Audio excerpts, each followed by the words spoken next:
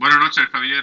Bueno, vamos a hablar de mentiras. Cuéntanos, resulta que aquí Pedro Sánchez ha pretendido engañar a todo el mundo y en cierto modo lo ha conseguido, ¿no?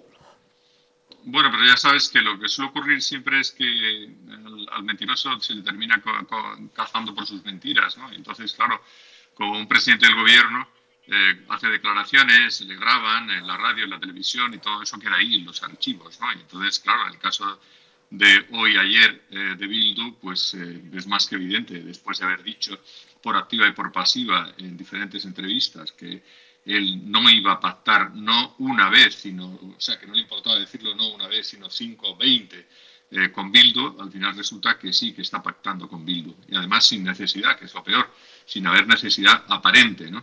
Bueno, pues entonces, ciertamente eh, llamar mentiroso a alguien que miente, pues eh, no es insultar, sino es definir. Cuando uno está mintiendo y te cogen con una mentira, pues ah, es normal que la gente te llame mentiroso. Tienes que ser consecuente con las obras que, haces y que realizas.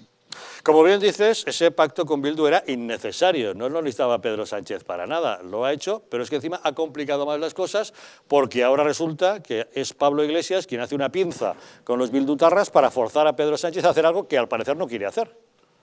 Bueno, la, realidad es que Pedro Sánchez se ha metido ahí en un, lío tremendo, ¿no? Porque al final, mm, pudiendo haber hecho una cosa que es probablemente lo que le pedía en Europa, que era tratar de hacer un acuerdo necesario con el principal partido de la oposición para hacer una coalición alemana, eh, que no hubiera sido del gusto de todas las personas, es evidente, pero bueno, pues por lo menos estarían las dos fuerzas más importantes tratando de hacer políticas que fueran en favor del 80% de la ciudadanía. Pero en vez de hacer eso, pues él se ha escorado y se ha ido a pactar con gente que es contra natura, gente con la que él decía que no iba a pactar nunca, con los independentistas, con Podemos, porque le, le iba a, no le iba a dejar dormir. En fin, todo esto nos acordamos porque todo esto es verdad.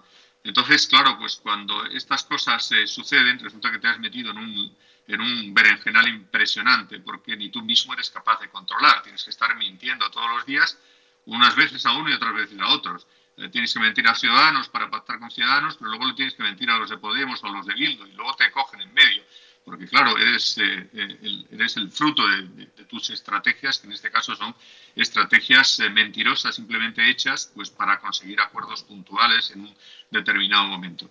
Y entonces, ¿qué pasa? Que al final él ha ido cediendo, cediendo tanto, pues fundamentalmente a Podemos, a Pablo Iglesias, que el que manda de verdad en el gobierno es Pablo Iglesias. Y como has comentado tú, Javier, pues efectivamente aquí le han hecho o le van a hacer una pinza entre Pablo Iglesias, eh, Bildu y si es necesario, pues Esquerra Republicana, porque me van a recordar que es que usted firmó un acuerdo en el que se comprometía a derogar la reforma laboral y por tanto, como se comprometió y además, como ha dicho Pablo Iglesias eh, esta misma mañana, de una forma contundente, cristalina, ha dicho él, usted se comprometió no a quitar algunos aspectos, no a derogar algunos aspectos puntuales, sino la totalidad de la reforma.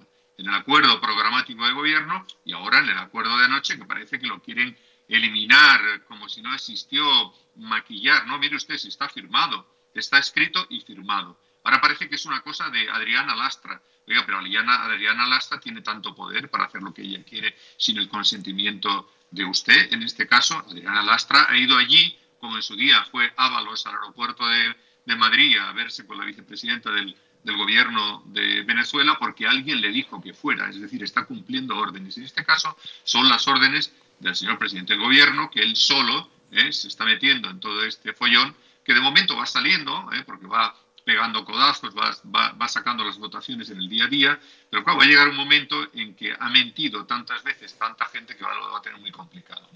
Oye, José Antonio, ¿y qué pasa ahora con Ciudadanos? Porque, vamos a ver, Inés Arrimadas parecía que en estos últimos días recuperaba algo de protagonismo, ganaba algo de prestigio y popularidad desde que había sustituido a Albert Rivera y de repente ahora con esto se cae con todo el equipo.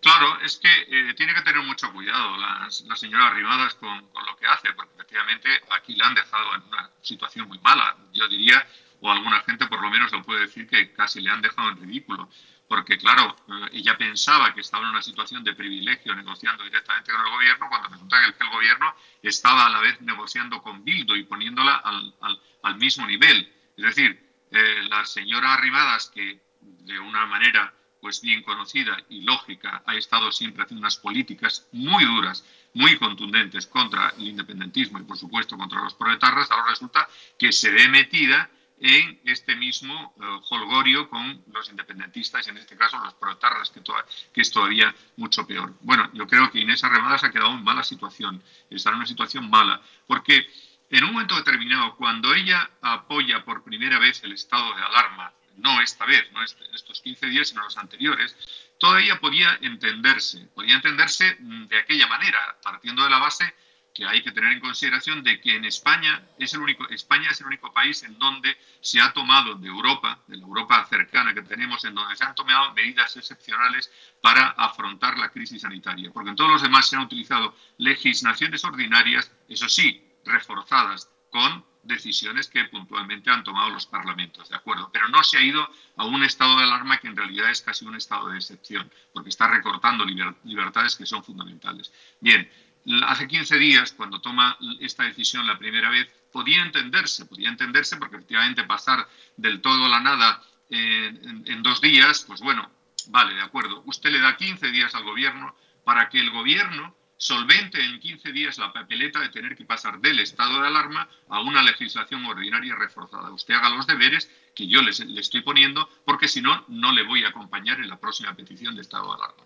¿Qué pasa? Que el gobierno en esos 15 días no ha hecho absolutamente nada porque se encuentra muy cómodo. Ahora ya no se encuentra tan cómodo con las cacerolas y todo esto, ya empieza a ver que esto no es tanta comodidad. Pero bueno, se encontraba muy cómodo, puede hacer lo que quiera. Marlaska puede monitorizar la opinión, las, eh, puede enviar a la policía y a la Guardia Civil de forma masiva para proteger el domicilio del vicepresidente del gobierno cuando no se ha hecho eso en otras ocasiones anteriores de scratches. Entonces, eh, ¿Qué pasa? Que, la señora Arrimadas está, yo entiendo, en una situación complicada. La primera vez se entendía, esta vez ya no se entiende bien, no la entienden ni, ni en su propio partido. Y si lo que pretende o pretendía era llegar a una próxima situación de prórroga del estado de alarma apoyándola, me parece que probablemente muchas de las personas que confiaron en Ciudadanos y en Arrimadas y en Albert Rivera, Albert Rivera partiendo de posiciones más bien de centro derecha, se van a alejar de una forma ostensible de Inés Arrimadas y de Ciudadanos. Pues veremos en qué acaba todo esto. José Antonio Vera, director de publicaciones de La Razón, gracias como siempre por acompañarnos en Los Intocables. Muchas gracias a vosotros, buenas noches. Hasta luego, muy buenas noches.